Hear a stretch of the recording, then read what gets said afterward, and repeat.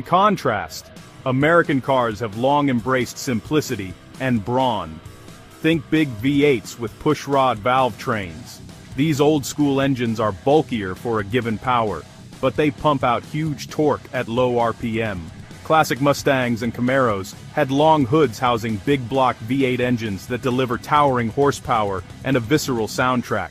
Their bodywork favored aggressive, boxy shapes, and interiors focused on durability over refinement.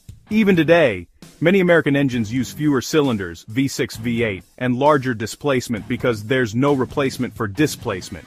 A key technical point, most American V8s are push-rod, OHV designs, whereas European performance engines are typically double overhead cam, DOHC. Push-rod engines stack the camshaft in the block, pushing lifters and rockers, which makes for a heavier valve train. This limits how high they can rev before valves float. Overhead cam engines mount the cams above the valves with shorter linkages, allowing higher RPM and more valves per cylinder. In short, many American engines have lower redlines than their European counterparts,